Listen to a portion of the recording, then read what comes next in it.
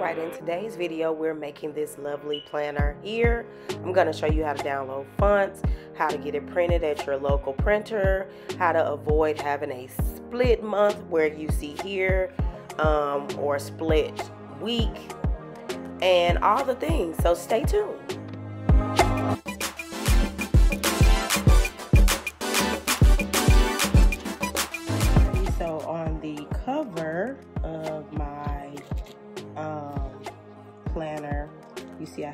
Clear cover and I'll show you how to select that.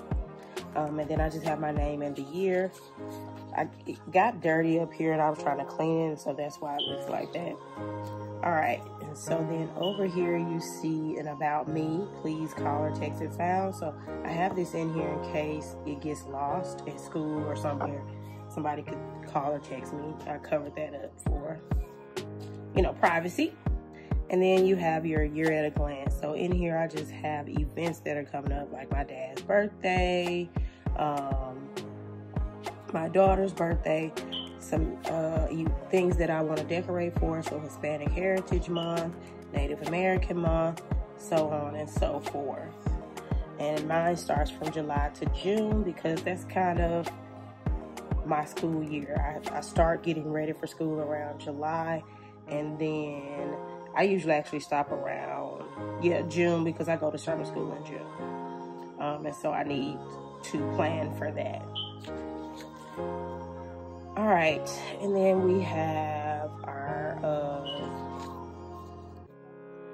her weekly plans look like this. So it's more of a block plan. And so at the time that worked and I tried it for a couple of weeks and I didn't like it. But you see I planned for 6 to 9, 9 to 25 to 12 because this was summer break and what I had planned for summer break. So you see my, uh, I was planning to record a video. I was, this day I was going to daycares to find a daycare for my daughter. I want to make sure that I read my Bible every day. I wanted to decorate my classroom um, and then some things I wrote in. Now, um, I, like I said, I did not like this layout, and so I redid it. Um, and so you'll see that in a second. Um, I don't believe she actually had these months. I don't remember, but I don't think so. And so I just used some extra templates and put the month in there. And then took some of these cute quotes. The best thing about the future is that it comes one day at a time. Abraham Lincoln. Alrighty, and so this is the month view. Of course, it doesn't have all of these events in there. I added those. So church on Sunday, professional development, a teacher work day, the days that I post my my productive mom videos. If you are not subscribed to my productive mom channel, please do so. Link in the description. Um, that content is related to being a mom. And then the days that I post my productive teacher videos. Um, the days we have PLCs, um, the first day of school when I get paid. And then in my classroom, I do remediations on Wednesday. So I like to remember that. And then I like to make my copies on Friday afternoon. So, and then they have a quote at the top. All right, so this is the layout I created over here. All right, so um, you see this is July 31st, August 6th was basically the first week of August. And there were some things that I, um, I preferred a more, um, a layout with times and when things had to be done. And you see here I marked off when I'll be teaching in the pink. So there's not really much to write there. Um, so 9.30 to 12, and then I have a lunch break, and then 12.30 to 4. And then in here, again, I post, put when I will be posting videos for my two channels, when I have professional development, um, when I go to church, and then at the bottom, my Bible, I prefer to check mark so I can say, okay, I read my Bible, I didn't read my Bible. Um, over here is Friday, Saturday, Sunday. And if I had to do this over, I would have did Monday through Friday and then Saturday, Sunday at the bottom because Fridays are not really busy, but I need that whole layout for Friday. So that's something I would do different. Then down here, I like to add the copies to make. So if I need to make any copies, emails, messages, or calls, any parents I want to call, and then next week. I like to know what's coming up next week. Something else I would add in here is a place for prayers. So I like to mark in here um, what students or teachers or friends I want to pray for that come to me throughout the day. So I had that in my last planner. I don't know how it got left out of this one. Um, so this layout is based on a book called The Together Teacher, which I talked about in my, you know, books that you should read as a teacher. Um, and so I love that layout from that book, so I'm using that. Over here on the right is my to-do list. The to-do list basically feeds um, this layout here. So as I, um, each week we have what we call a weekly roundup, which again comes from that book. And in there, I just jot down, or throughout the days, I jot down things on my to-do list. And then during my weekly roundup, once I get to this week, I will put these various things in here. The things that I don't get to will move into the next week's to-do list. Um, so this is, is this the current week? No, this is actually last week and you see it starts to get a little more convoluted as the school year started. And this is my current week. Um, not a lot in here because I've been out due to a death in my family.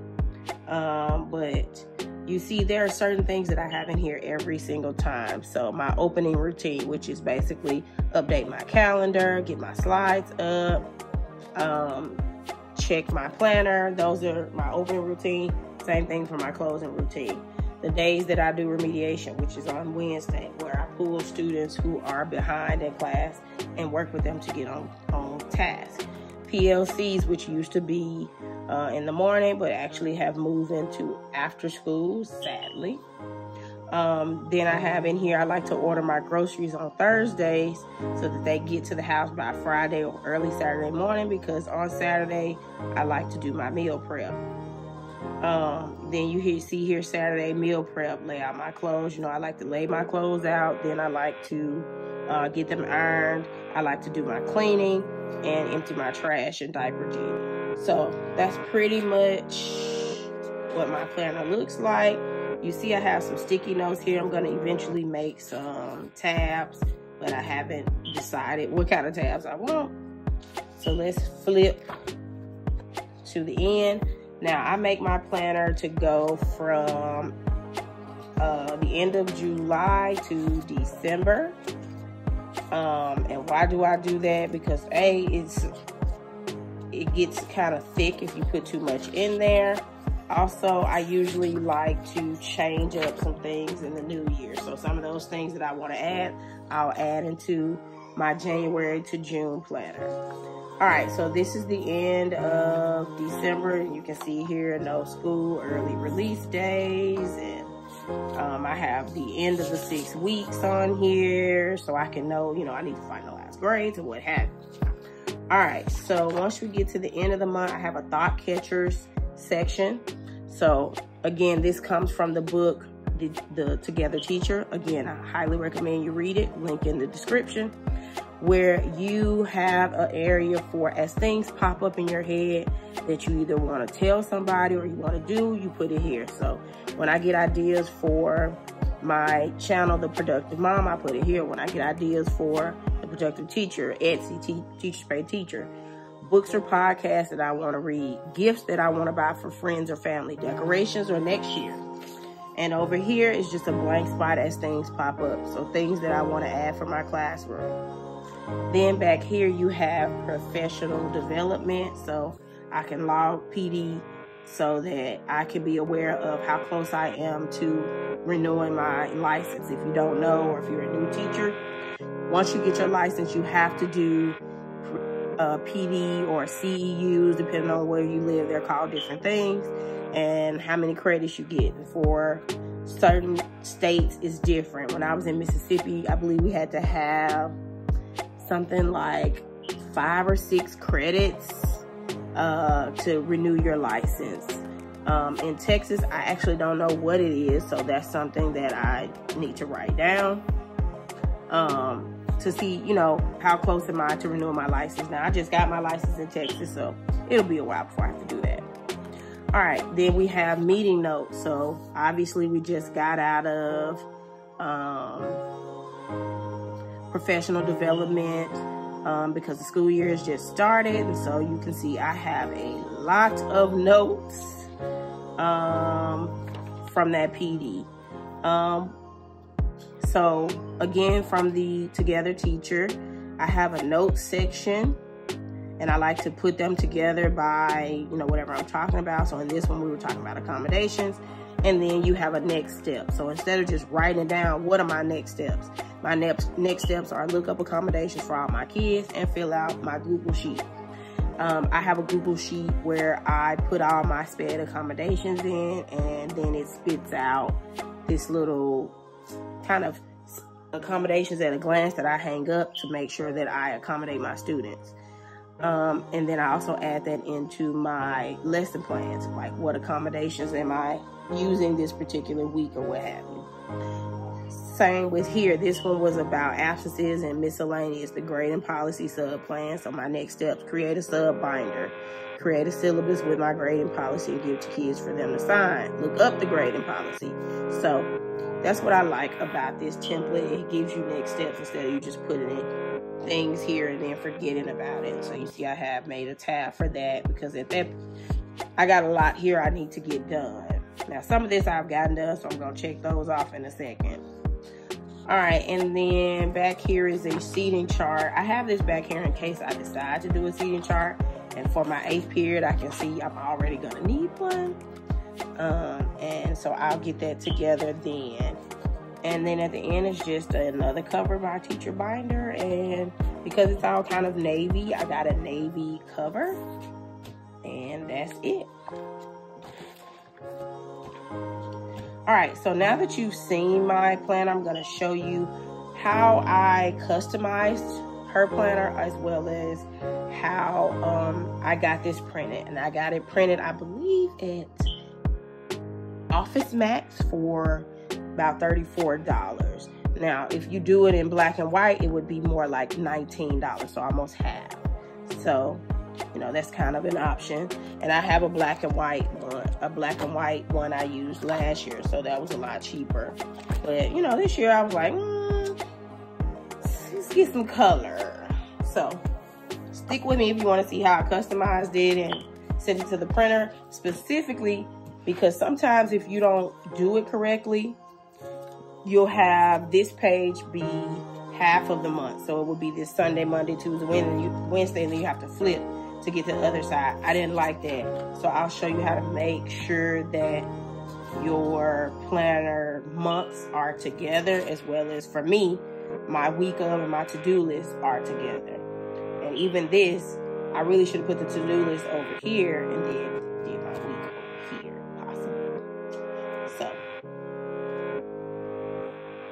Okay, so before you do anything, you need to download some fonts, especially if you're on a Mac. So um, the font you should download, I will link in the description. It is all KG fonts and it is free.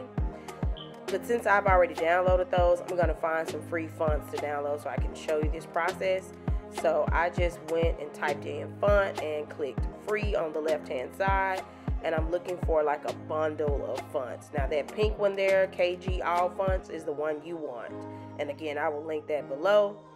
But I'm going to download some fonts that are, I believe they're called BD or BG or something like that. Um, and I'll link those below if you want them. BMD, that's the name of them. All right, so you just want to hit download. And the way I'm going to show you, you don't have to go and individually add each of these fonts because if you download those KG fonts, there are 300 and something fonts. Who wants to sit there and hit install all day? All right, so once you download them on at least on a MacBook, you'll have to unzip that file and then you can open that file and find the TXT files. I'm sorry, not TXT, the TTF files. Those are the actual fonts. And so as you can see in here, you could select multiple fonts and then right click and open or open with the font book. Um, and they'll pop up there and you will have to individually hit install on each one of them so as you can see here I'm hitting install install install. And that may or may not take you long if you only got one or two fonts. But if you download that KG all fonts like I said it's 300 plus fonts. Ain't nobody got time so what you want to do is go to the launch pad on a MacBook and find your font book and get that opened up. Move that off to the side and then open up the fonts that you want to download. Once you do that, you can go in and then select all the fonts or select the fonts you want to add and just move them over into the font book. Alrighty, so now we are headed to PowerPoint, which is where I created mine. You want to create a new presentation, and then um, you can just click Design, Slide, Slide Size, sorry, and you want to make it eight and a half by 11 inches. Um, it doesn't matter about scaling up or scaling down. And then you want to delete all of that good loveliness. And so now click the home button and you want to create templates that can't really be manipulated uh, beyond what you want. So cl click view and slide master and we're going to create our templates in this slide master. So don't click the first one there, click that second one or any one underneath there and then remove all of the things you see there. So let's first start with that table that I have with my hourly minutes or hours that I'm going to be uh, operating, you want to have basically five columns, and I had about 17 rows, but it won't let you pick 17, so just pick as many as it'll let you. They come out with this set template that I hate, so click that down arrow there, and you want to click the black and white one. You can move it around wherever you want it to go and resize it you can uh, make it longer or wider, however you want to do. But I'm going to pretty much leave it like that. If you come to the last box and hit the tab button, um, you can add more rows um, if you need them. So I'm going to leave it like that for the moment. I'm going to come to this first uh, row in the second column and type Monday, Tuesday, uh, Wednesday and Thursday. And again, I wish that I had put Monday through Friday up here. And, you know, if you want to do that, that's fine. And then down here, I just want to put some time.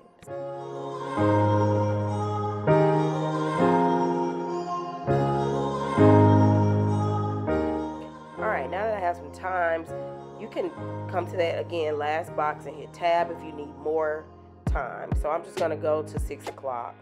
And so then we have a lot of space after the time and real estate is going to be very important here because you only have eight and a half by 11 inches. So resize that out. And then I want to come up here and evenly space these columns. So come up here, you want to hit uh, layout and then you want to distribute distribute columns. And so that even that up we want to align these um, days of the week in the center. And then now let's work with those fonts that we've added into PowerPoint. Now, if you don't see all your fonts, you might want to turn your computer off or restart your computer, and then you should see them. Uh, it takes a second sometimes. All right, so I'm going to use one of those free fonts, which is this one is KG. Be still, I, be still and know. But in my actual fonts, I use, I believe, APL. Um, and I'll link those. APL, treat yourself. And I'll link the APL and AG fonts I love as well. Um, so now keep in mind that when you anything you type in here is going to be on every template. So you want to make sure that this is something that will stay for every week. So here you can merge cells. So let's say you teach from 9 to 10 o'clock. So you can merge the Monday cell um, so that you have more real estate to type, or you can merge that whole week And then I like to merge the 9 and 10 so that, you know, that's just kind of one box. So you put the 9 dash 10 o'clock. Um, and in here, you could, if this was, let's say, every day from 9 to 10, you do PLC or produ- excuse me, professional development. You could change the color. So you come to table design and click shading.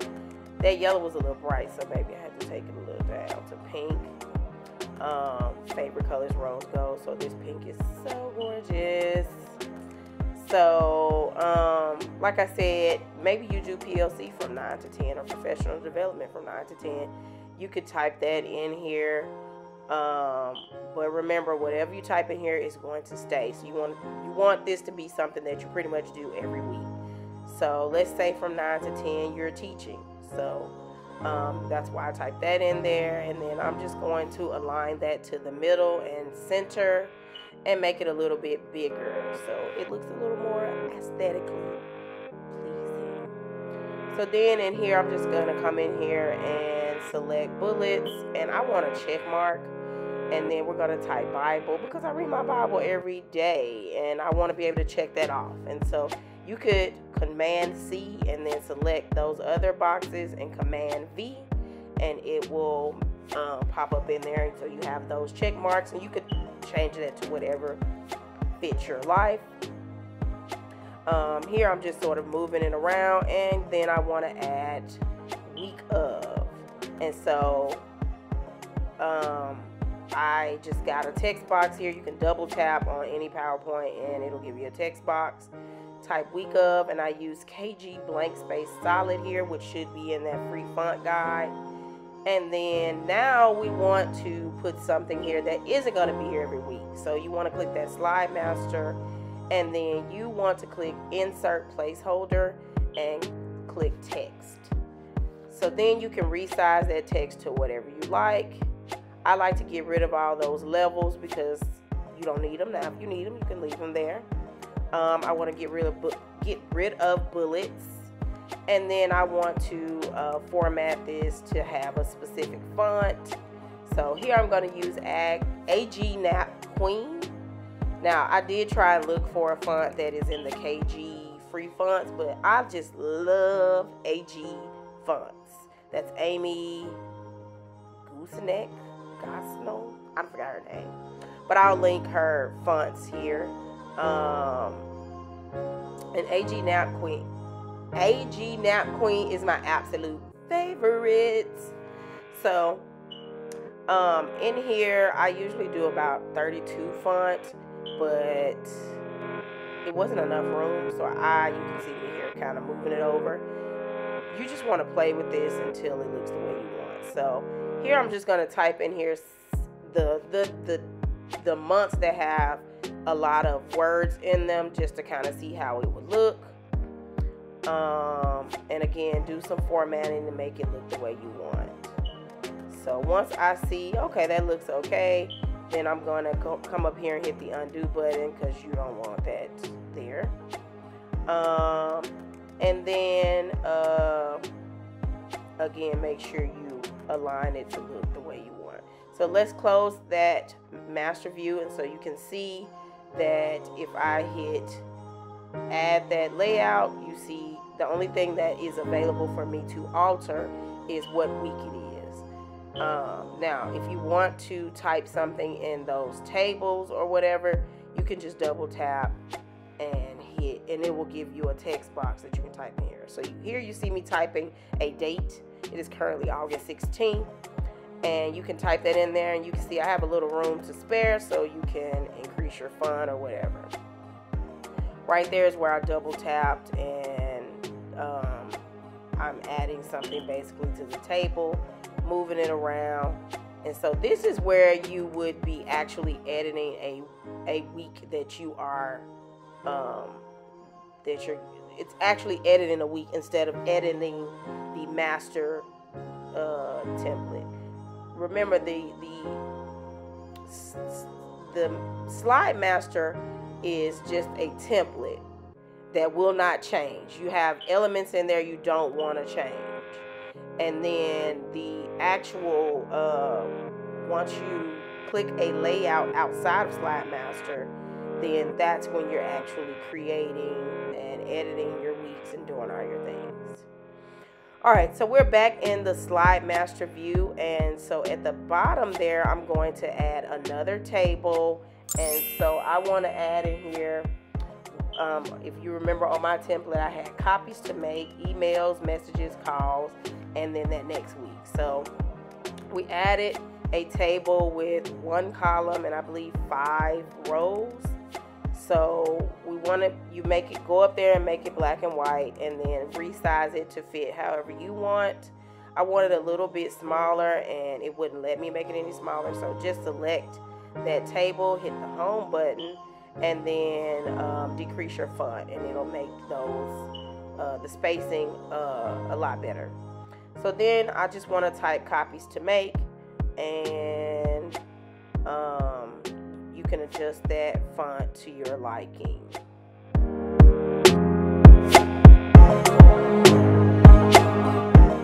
Alright, I wanted to add another column for the emails, messages, and calls. So right click, insert, column to the right, and then you can adjust. I typed the emails, messages, and calls and then I'm going to do the same by adding another column to say next week and so you can adjust this for however you want. And then right above this in a few minutes I'm going to add another um, three column table for Friday Saturday and Sunday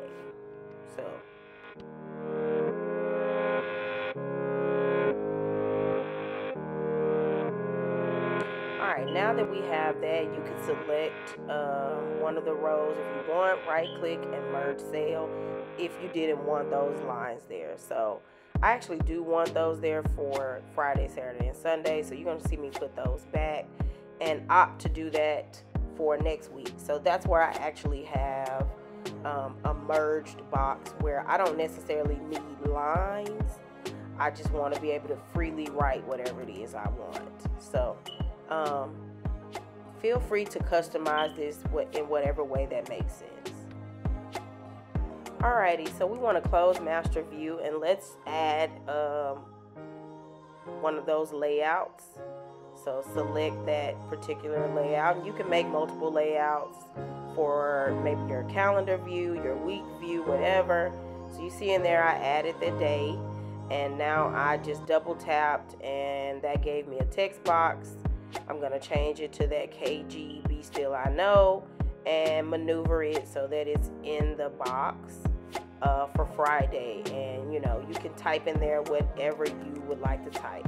You see there, I added a checkbox and then I'm going to add opening routine. And I recommend highly that you get an opening and a closing routine. Closing being the most important because you want to come in every day feeling like things are already ready to go. And what's in my closing routine? Um, my slides are ready to go for the next day or video or whatever. Um, my calendar has been updated. Uh, maybe my room is swept or my copies are made or whatever it is that makes your day smoother. So if you get to work late, you're already ready to go. So, all right, so I'm back in my actual planner, and let's say um, you put this in your like slide sorter view and you get to your planner and you see that a month is separated. So look, you see September on one side and then you see half of the calendar. Well, you want the calendar side by side. So what I usually do is I get out of the slide sorter view and go back to just kind of viewing it as one slide. And then just hit add slide and you want a blank slide. And all you want to do is type in here that this page was intentionally left blank.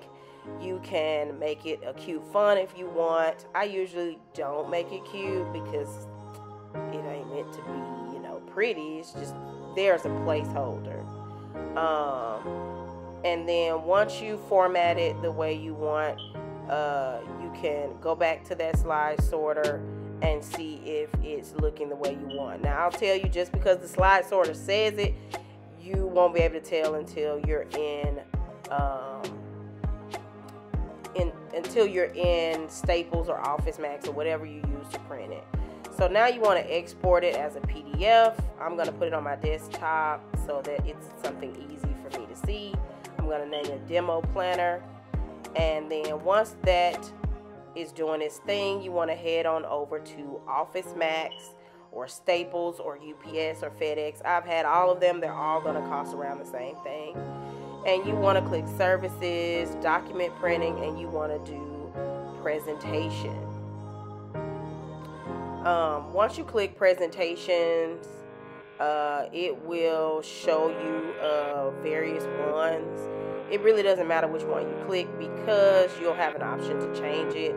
But I usually go for um, the spiral bound presentation. That's what I have now, and that's the one I like the best. Uh, and then you just want to hit customize. So once you get in here, you're just going to upload your uh, document. And once it's uploaded, it will show you what it's going to look like when it prints. So whatever you see on that screen, that's what it's going to look like when it prints. So if you don't like something, you should fix it then, right then and there. Now, I will say Office Max, all of them are really good about fixing little problems or if they mess up something, they'll they'll fix it. All right, so you want to customize, so scroll down. Um, I usually leave it, keep to size. Um, you can do it in full color or black and white, and I'm going to show you what it looks like in black and white. And you can't see, you can see that in black and white it is nearly half the price. But, baby, no. Um, I, I had to have mine in color. You see that this page intentionally left blank there.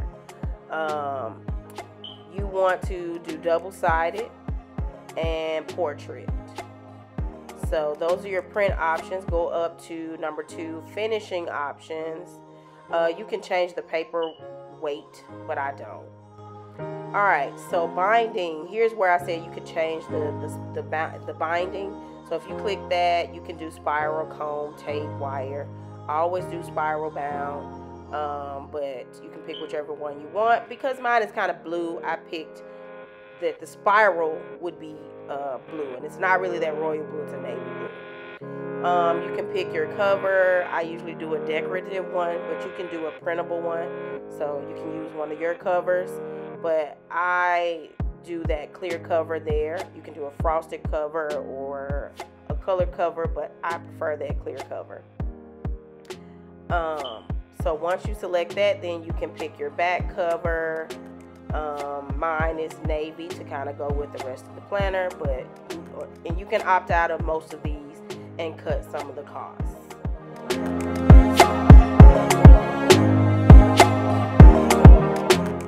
All right, lamination, perforation, don't pick those in finishing.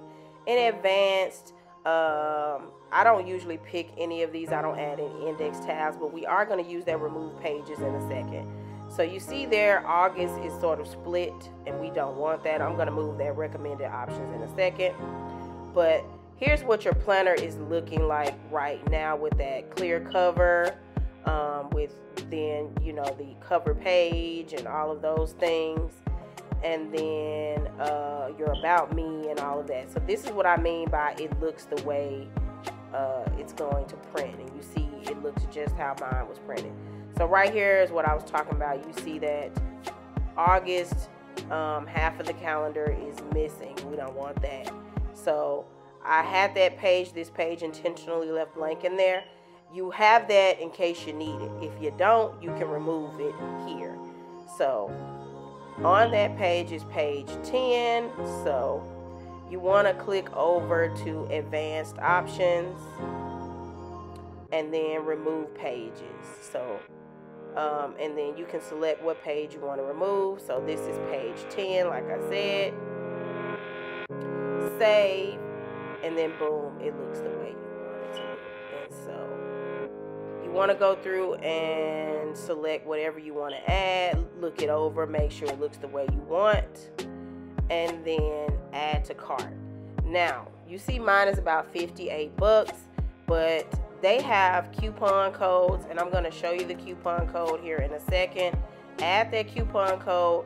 Uh, and then also make sure you don't select shipping because shipping is like 10 bucks nobody got time for this. You see that code right there, which is summer 20. Um, if you look in there, there's always a code. Also, if you text them or you join their texting, um, you can uh, get another like 5% off. So put your code in there and you want to click store and curbside pickup.